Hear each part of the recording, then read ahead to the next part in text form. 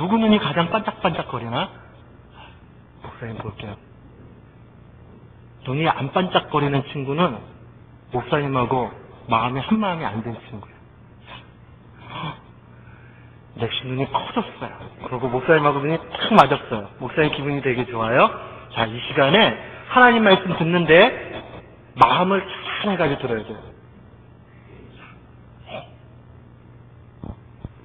사람은요, 커가지고 엄마랑 아빠랑 딴따다단 뭐예요? 결혼해요. 사랑해서 결혼하면 하나님이 때가 되면은 예쁜 아이를 배 안에 이렇게 줘요. 그러면 할머니 할아버지들 이렇게 보면서 와 배가 이만큼 나온 엄마를 보면서 아유 복된 아가가 그 배 안에 있네 라고 칭찬을 해줘요. 배 안에 누가 있다고요? 어 애기 어떤 애기? 어, 복된 아기가 있다고 되게 기쁘게 그렇게 칭찬을 해줘요. 그러면 아빠는 가만히 이러고 있다가 음 이러고 계신 게 아니에요. 아빠는 딱 이러고 있으면서 머릿속에 생각을 해요. 아, 저 복된 우리 아기 이름은 뭐라고 지어줄까? 그래서 기도도 하고 마음에 딱 생각을 하면서 아, 이름을 뭐라고 지어줄까? 요한이라고 지을까? 요한이라고 지을까? 태연이라고 지을까? 막 고민을 해요. 이름을 지으면서 그 이름을 갖다가 그냥 아유 그냥 부르기 쉬운 거 아무거나 대충 하자 그래가지고 전화번호부를 탁 들어가지고 이름 그냥 괜찮겠네 하고 지으는 이름은 별로 없어요. 애들이 많을 때는 옛날에 뭐 그러셨대요. 지을 게 없어가지고 전화번호 뭐 이렇게 열어가지고 제일 많은 거 전화기 가지고 있으면 부자니까 뭐 그렇게 했다는 얘기를 옛날 어른들한테 들은 적은 있는데 그렇게 짓는 분들은 한 분도 없어요. 이름을 지을 때는요 기도하고 기도하고 마음의 생각을 잘하고 이 이름이 어떻게 불려질까 또 이 이름대로 아이들이 잘 쑥쑥쑥쑥쑥쑥 자라나기를 원하는 마음으로 그렇게 준비를 해요. 근데 오늘 본문에 보니까 아주 멋진 하나님의 사람이 등장을 해요. 누군지 알아요, 이름이? 아는 친구 크게 한번 얘기해 보세요. 네. 이름이 뭐예요? 어, 민섭이가 대답을 너무너무 크게 잘했어요. 누구라고 그랬죠? 사무엘이 등장을 해요. 근데요, 사무엘도 이름을 지을 때요, 그냥 대충 지은 게 아니에요. 사무엘의 이름의 뜻이 있어요. 사무엘의 이름의 뜻은 다름 아닌 뭐냐 하면, 하나님께서 들으셨다. 그런 의미를 가지고 있어요. 사랑하는 친구 여러분, 사무엘의 엄마는 한나였는데, 한나는 오랜 동안 아이가 없었어요. 그래서 항상 근심하고 있었고, 마음속에, 아, 아이가 있었으면 좋겠다 하고, 하나님 앞에 늘 기도를 했어요. 근데 어느 날, 하나님께서 그 한나의 마음을 깊이 살펴보시고, 귀하게 여겨주셔서, 아이를 그 배 안에 쏙 집어넣어 주셨어요. 그리고 나서 열 달 후에, 으아! 하고 태어난 게 누구예요? 사무엘. 근데 사무엘의 이름은 한나가 하나님 앞에 기도했을 때의 그 기도를 하나님께서 들으셨다. 그런 의미로 사무엘이에요. 그런데요, 재밌는 사실은 무엇이냐 하면, 이 사무엘은 사람들이 평가할 때, 기도의 사람, 그렇게 이야기했어요. 별명이 뭐였다고요? 사무엘의 별명이? 기도의 사람.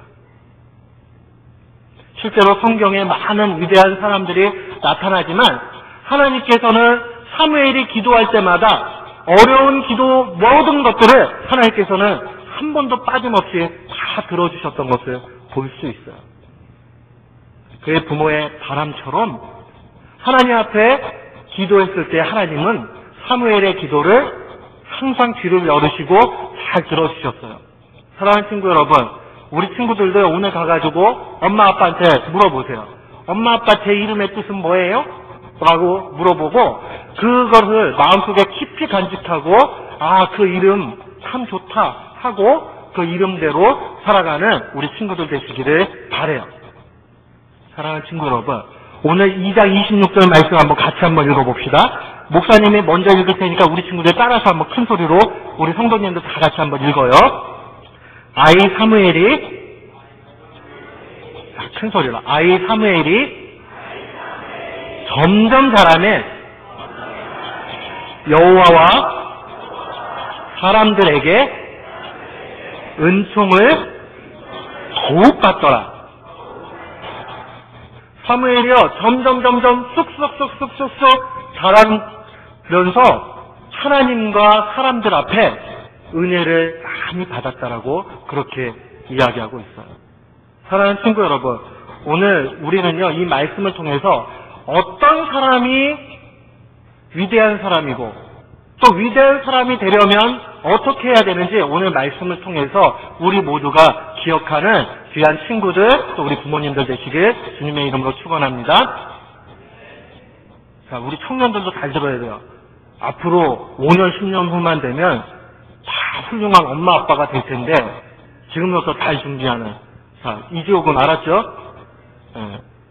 자, 큰 소리로 해야지 그렇게 하면 안 돼요. 아셨죠? 예. 씩씩한 청년이에요. 자, 보세요. 사람들은요, 참 이상해요. 누구나 다 위대한 사람이 되고자 하는 마음은 마음속 간직하고 있고 크게 크게 가지고 있는데 도대체 위대한 사람이 뭘까라고 물으면 잘 기억을 못해요. 위대한 사람이 어떤 사람인지. 오늘 본문은 우리에게 뭐라고 이야기하냐면 위대한 사람은 하나님의 은총을 받는 사람이라고 이야기하고 있어요. 자, 위대한 사람은 어떤 사람이라고요? 하나님의 은총을 받는 사람. 사랑하는 친구 여러분, 우리 부모님 여러분, 우리가 아무리요, 아이를 잘 양육하려고 그래도요, 그 아이가 그냥 내가 바라는 대로 다 자라날 것 같지만 그렇지 않아요. 아마 저보다 갑절이나 더 그렇게 어, 인생을 사실 어른들은 그 말씀에 고개를 뚱나뚱 거릴 거예요. 저는 이제 결혼해가지고 아이가 생긴 지 한 4년밖에 되지 않았는데 지금부터 벌써 아 참 말을 어, 더 들어줬으면 좋겠구나 하는 마음이 더 들어요. 설교를 듣고 있기 때문에 그냥 얘기할 수가 없고 어쨌든 그래서 마음에 많은 근심이 돼요. 그러면서 야, 이 아이를 어떻게 잘 양육해야 될까? 근데 얻은 결론은 하나예요. 그리고 하나님 앞에 항상 이렇게만 기도해요. 하나님, 저 아이가 머리 똑똑해가지고 어떻게 좀 해주세요. 건강해서 어떻게 해주세요. 뭐 해주세요. 그렇게 기도는 절대 하지 않아요. 하나님, 우리 사랑하는 아이가 하나님 손길 가운데 자라나게 해주세요. 사랑하는 친구 여러분, 우리 친구들이 훌륭한 사람이 되기 위해서는 하나님께 사랑받고 사람들에게 사랑받는 그런 어린이가 되어야 돼. 우리 부모님들도 마찬가지예요. 기도하실 때 자녀 손들을 위해서 기도하실 때마다 이 아이가 어떻게 됐으면 좋겠다. 마음에 물론 간직하고 기대하는 바가 필요 없다는 것은 아니에요. 그것을 가지고 있지만 그러나 무엇보다도 하나님께서 이 아이를 책임져 주실 것을 하나님 앞에 강구하는 부모님들이 되셔야 될 줄은 믿습니다. 성경에서 얘기하고 있는 은총을 받는다라는 이 본문의 말씀은 다른 말로 얘기하면 좋은 길로 인도함을 받는다. 그렇게 번역할 수 있어요. 선한 길로 인도함을 받는데 세상에 모든 좋은 것들이 많이 있긴 있지요. 좋은 이야기들도 있고 또 격언들도 있고 그 다음에 충분히 아 이렇게 하면 아이를 잘 양육할 수 있습니다. 라는 이야기들이 많이 있을 수 있어요. 그러나 그것보다 무엇보다 앞서야 될 것은 하나님의 은총이라는 사실을 기억해야 됩니다. 제가 93년도부터 어, 아이들을 가르치기 시작했거든요, 전도사로. 그러니까 한 15년 됐죠? 그러니까 어, 한국의 유명한 목사님이 한 우물을 10년 팔면 그래 전문가가 된다 그런 얘기를 하시더라고요. 그러니까 제가 반은 전문가는 맞을 거예요. 그런데 제가 아이들을 양육하고 그 아이들이 벌써 어, 초등학교 했던 애들이 벌써 20대 중반이 다 됐어요. 근데 그 아이들 가운데서 위대한 인물이 된 애들도 있고 덜 위대한 인물이 된 아이들도 있고 위대한 인물이 되기에는 많은 요리, 노력이 요구되는 아이들도 있어요. 그 차이가 어디 있었는지 알아요? 하나 정확해요. 예배를 어떻게 준비하고 드렸냐가 딱 하나의 기준이었어요. 예배를 잘 드리는 아이, 부모님이 어릴 때 헌금을 잘 챙겨주고 성경 읽는 것을 체크해주고 예배 시간을 정확하게 지키고 그 다음에 기도하는 것을 가르쳐주고 아침 저녁으로 날마다 아이 어, 잠자, 잠자리에 가서 축복하며 기도해 줬던 아이들은요 정말 달라요. 뭐가 달라도 달라요. 제가 여기 이렇게 단위에 올라가면요 쫙 이렇게 보이잖아요. 성도님들도 보이고 아이들도 보이고 제 편견이 아니라 간혹은 아이들 청년들 가운데서 제 눈에 팍 들어오는 아이들이 있어요. 근데 여태까지 하나님께서 제게 주신 그러한 시각에서 볼 때 그 아이들이 분명히 주목할 만한 아이는 것은 사실이에요. 정말로 저는 기대가 돼요. 그런 아이들. 근데 그런 아이들을 가만 보면 부모님이 달라요. 희한해요. 어떤 아이는 별로 그렇게 썩 인물이 달라거나 막 이렇게 그래도 한국에서는 또 얼굴이 좀 뽀샤샤하면서 하야 뭐고 하면은 좀 잘생겼다고 그러거든요.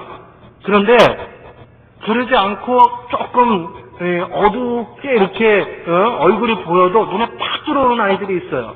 그리고 눈에 띄고 아, 정말 사랑스럽다 이런 아이들이 있거든요. 근데 그 아이들이 왜 그럴까라고 가만 보면 부모님이 달라요. 근데 부모님의 뭐 직업이 좋냐, 뭐 돈이 많냐, 그 다음에 많이 배우셨느냐, 이거는 별로 중요하지 않아요. 정말 중요하지 않아요. 어떻게 신앙교육을 했느냐 하는 것과 또 하나는 두 분이서 얼마나 사이좋게 지내느냐가 아이들의 대부분의 그 마음과 인생을 결정하는 것을 저는 많이 봤습니다. 간혹 부모님들이 저한테 와가지고 상의를 합니다. 아, 아이 때문에 벌써부터 걱정인데 참 어떻게 하면 될까요? 또 저는 맞벌이 하니까 아이들을 이렇게 놓고 다니니까 참 그래요. 한국에는 맞벌이 안 하고는 거의 생활을 못 하니까 다 맞벌이 하니까 부, 모님들이 이렇게 마음에 죄스럽고 막 그렇단 말이에요. 그럼 저는 단호하게 한마디로 얘기해요. 그거 결, 걱정하지 마시고 엄마 아빠 둘이 둘이 사이좋게 잘 지내세요 그래요.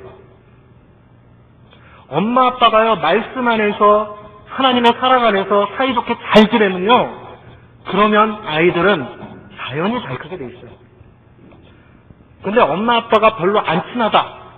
그러면 아이에게 아무리 좋은 걸 해줘도 그것이 좋은 것으로 나타나지 않습니다. 마치 그 보양식과 비슷해요. 그런데 그 몸이 체력 기초 체력이 완전히 바닥에 났는데 걷다가 한약 막 좋은 거 먹으면은 완전히 독되는 거 아시죠? 약이 아니라 독이 됩니다. 기초 체력이 있어야지 그것을 해독하고 그 다음에 그 좋은 성분들이 몸에 싹 들어가서 그 어, 소위 영양 상태를 좋게 이렇게 만들어주는 것처럼 아무리 좋은 건 많이 갖다 주고 해도 그것은 아무런 도움이 되지 않는 것을 바라볼 수 있어요. 오늘 본문 말씀에 사무엘이 그렇게 사무엘 될 수 있던 것은 다른 데 있지 않았어요. 가장 중요한 것은 그가 하나님의 붙잡힌 바 된 인생이 되었기 때문에 그렇다는 사실입니다. 그의 엄마는 기도의 사람이었어. 일평생 무릎을 꿇으며 기도했습니다. 그리고 그의 결단은 얼마나 대단한 결단이었는지 알아요? 엘리 제사장 집에 젖을 뗀 이후, 보통 만 3살 이후에 엘리 제사장에게 맡기고 돌아옵니다. 교회 안에서 자라게 만든 거예요. 사랑하는 성도 여러분, 우리 친구 여러분. 하나님의 말씀에 붙잡힌 바 된 아이들은 잠시 곁길로 갈 수 있어요. 교회 다니면서 조금 비행 활동을 할 수 있어요. 청소, 청소년 시절에 약간 곁길로 갈 수 있어요. 그러나 나중에 결국은 바른 길로 오게 되어 있습니다. 왜요? 하나님의 그의 인생을 꽉 붙잡고 계시기 때문에 절대로 다른 데로 가지 않는 것을 바라볼 수 있습니다. 사랑하는 성도 여러분, 자손들이 다 잘 되기를 원하신다면 무엇보다 아이들이 말씀 안에 붙잡히는 인생이 되기를 기도하시길 주님의 이름으로 축원합니다. 그렇게 양육하시기를 바랍니다. 제가 세례 문답할 때 아이들 유아 세례 이렇게 하면 교육할 때 그 부모님들한테 가장 어, 첫 번째로 가르치는 게 뭐냐면 아빠들한테 여러분들은 가정의 목사님입니다. 제가 그렇게 했죠. 엄마는 전도사님. 그래서 엄마 아빠가 수시로 아이들 놓고 기도해 줘야 됩니다. 아, 저는 기도를 잘 못해서 주님은요, 우리가 뭐 멋지게 뭐 기도를 잘하고 이런 거에 어떻게 보면 별로 관심이 없으세요. 우리의 중심을 너무나 간절히 원하시고 계세요. 자녀가 정말 잘 되길 원하신다면 여러분들 하나님 앞에 그 아이가 말씀 가운데 잘 양육되도록 기도하십시오. 그러면 아이가 자기도 모르게 하나님의 만자지심 속에서 좋은 길로 가게 돼 있고 하나님과 사람들 앞에 은총을 받게 된다는 사실을 기억하셨으면 좋겠습니다.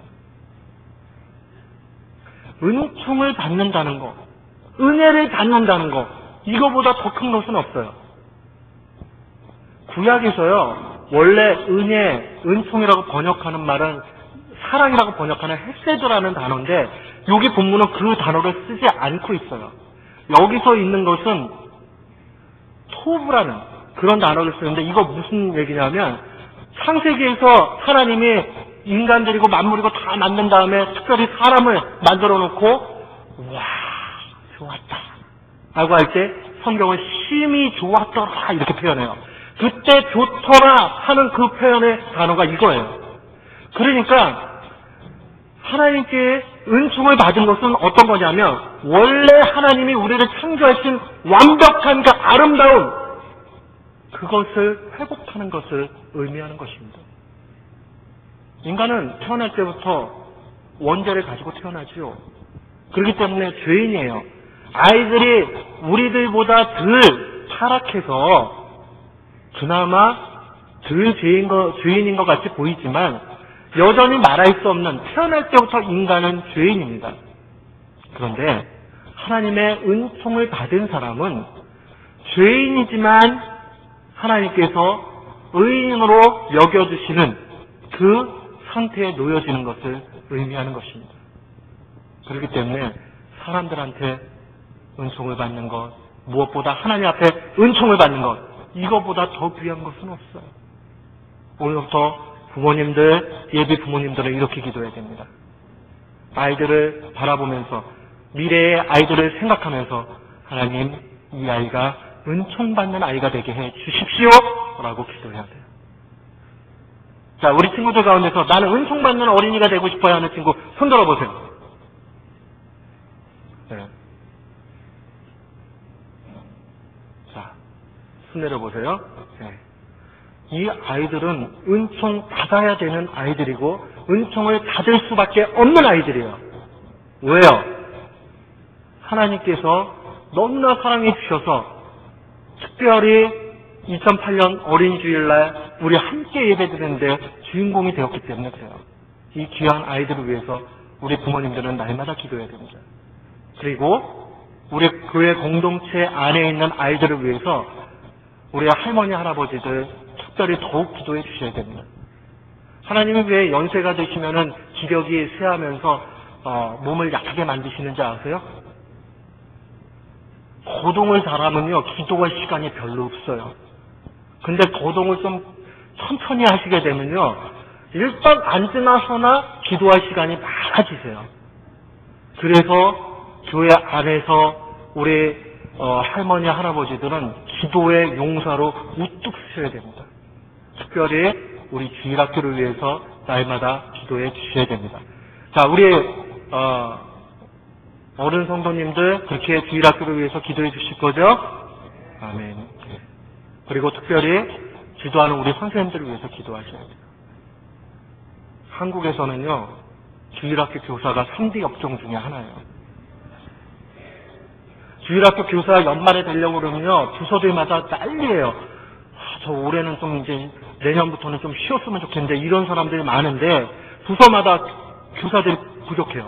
근데 우리는 완전히 유학생들이 하잖아요. 와가지고 그런데 어떤 선생님들은 한국 가서도 막 그리는 거 해가지고 그 DHL 그 되게 빠른 우편 있잖아요. 그런 걸로 보내오는 선생님도 있고 하나 우리 주일학교 보면 선생님들 보면서 마음에 막 그 눈물밖에 안 나와요. 얼마나 너무 멋있는지 몰라요. 우리 부모님들이 기도해 주셔야 됩니다. 주일날 이 아이들 한 영혼 한 영혼을 가르치기 위해서 힘쓰는 선생님들. 왜요? 그들의 눈에는 이 아이들이 하나님 앞에 은총받는 귀한 존귀한 성도기 때문에 그런 겁니다. 사랑하는 성도 여러분, 우리 주일 학교를 위해서 날마다 기도하는 우리 모두가 되시길 주님의 이름으로 축원합니다.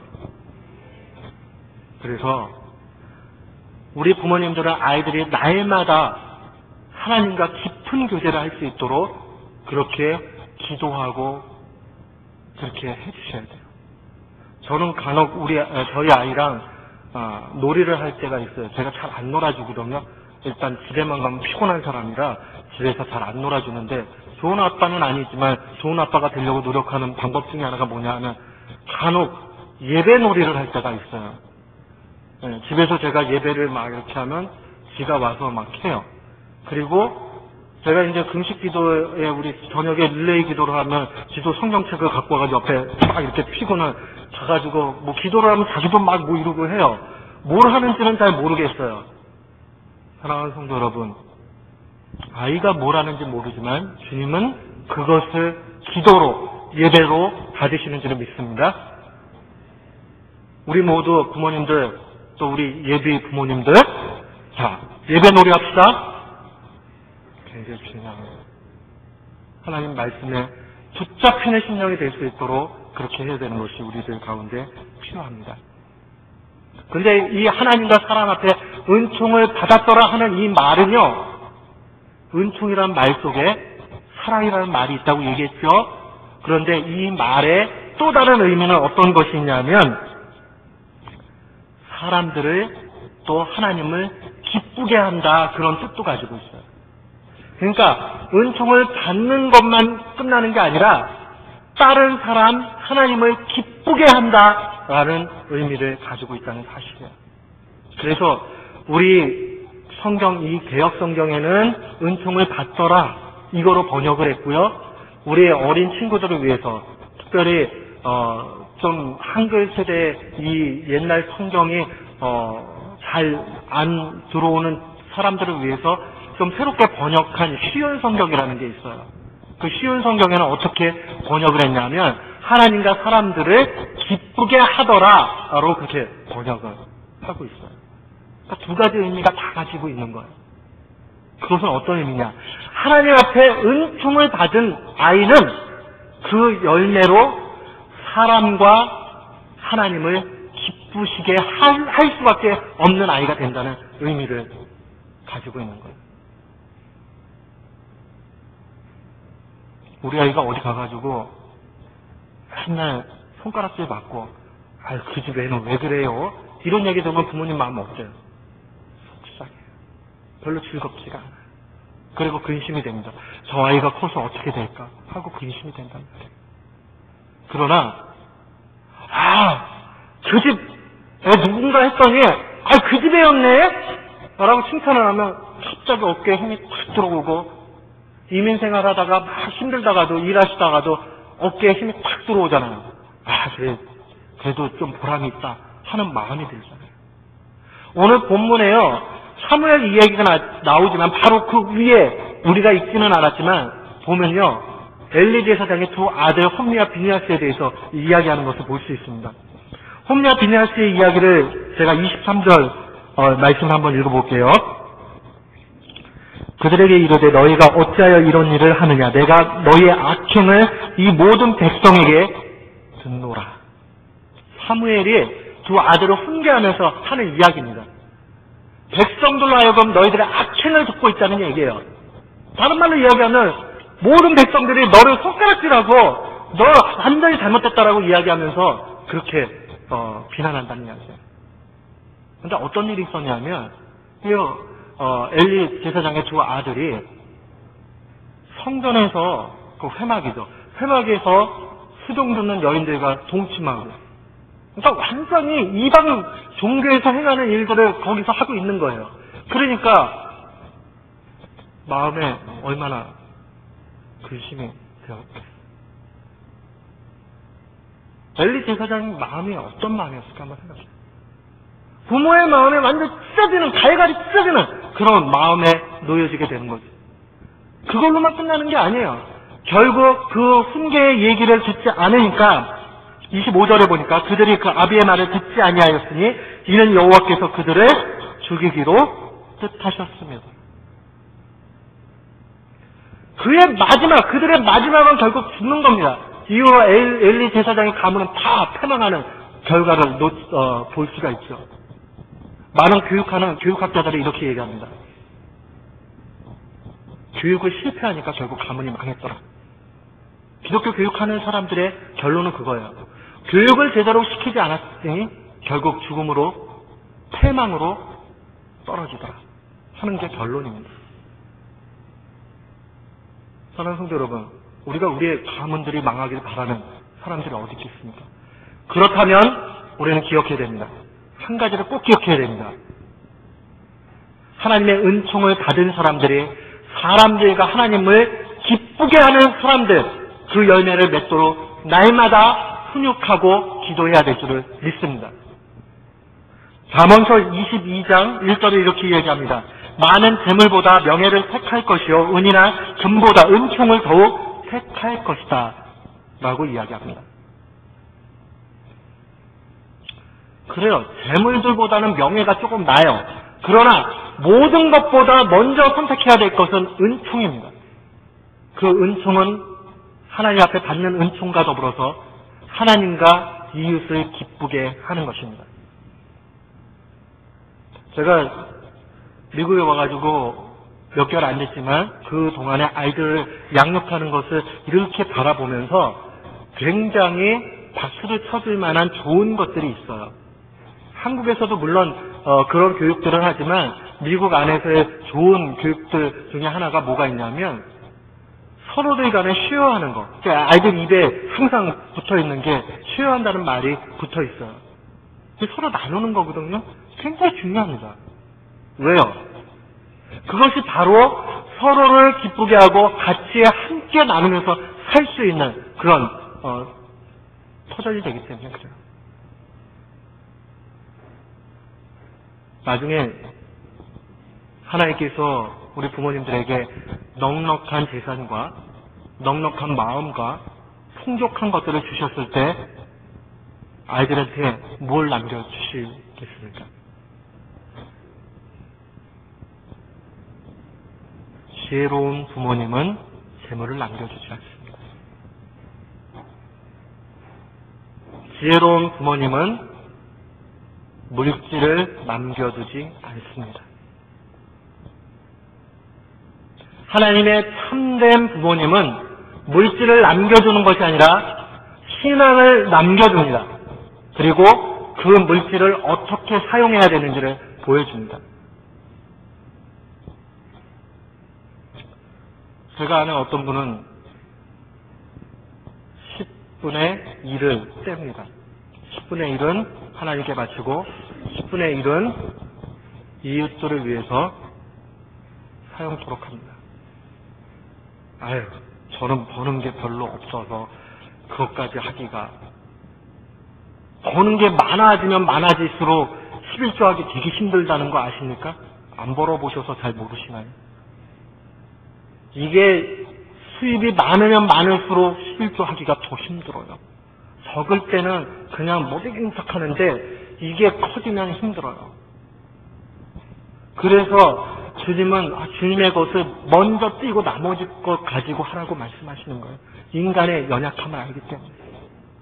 근데 아이들의 눈에 보이게 이웃들 하나님 것을 구분하고 이웃들한테 남, 남는 것을 어, 주는 것을 어린 시절부터 구분해서 그렇게 교육을 하면 그 아이는 나중에 물질이 많아져도 타락할 확률이 굉장히 적습니다. 왜냐하면 10분의 2쯤 뛰고 나면요 자기 쓰고 살기도 빠듯한데 타락하게 뭘 타락을 합니까? 그리고 그 마음속에 참된 기쁨이 있는 어디에 있는지를 알아요. 사랑하는 성도 여러분, 우리가 할 수만 있다면 기도하시고 이웃들을 위해서 여러분의 것들을 귀하게 나누는 성도님들 되시기를 주님의 이름으로 축원합니다. 자꾸 남에게 주는 것 기쁨으로 여겨지면 아이들 몸에 배요. 그렇게 자라난 아이들은요, 형제 간에도 서로 나누는 걸 기뻐해요. 그렇게 되면요, 사람들이 받으면서 싫어하는 사람 아무도 없어요. 그러면 기뻐해요.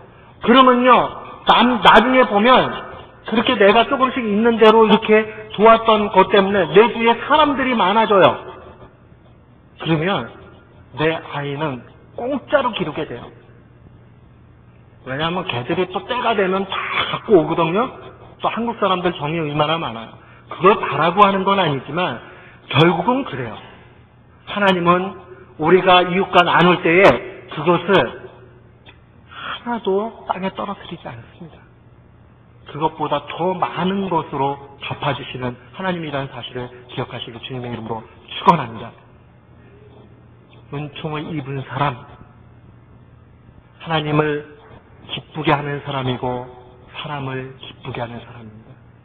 저는 여기 있는 우리 사랑스러운 아이들이 또 우리 부모님들이 이 말씀 붙잡고 그렇게 성장되어지고 성장시키기를 주님의 이름으로 축원합니다. 주님 우리에게 그러한 명령을 주셨습니다. 자녀들 양육하지 못하는 것은 전적으로 우리의 책임입니다. 그렇기 때문에 말씀으로 잘 훈육해야 됩니다. 오늘 우리 교동문에도 읽었죠? 마땅히 행할 길을 가르치라라고 주님은 명령하셨습니다. 그건 명령법으로 확실하게 명령하셨어요.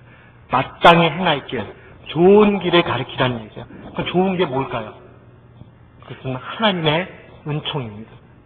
하나님의 은총을 붙잡을 때만 우리는 바른 길, 좋은 것을 줄 수 있는 것입니다.